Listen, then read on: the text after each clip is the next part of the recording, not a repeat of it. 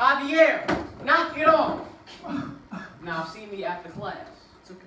And like I was saying, H2O is water. Goodbye, you guys. Are dismissed. Got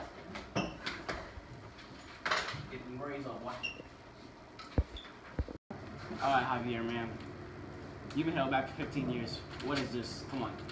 It's so hard to pay attention, man. Pay it. Your grades.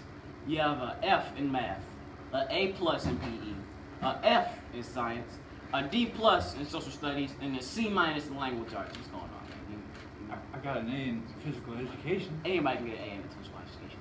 It's just so hard, man. Do you want to succeed? I'm trying, but It tr- doesn't look like it. I can't, man. It's just so hard. Okay. Well, you gotta keep trying, man. Hopefully you succeed. One day.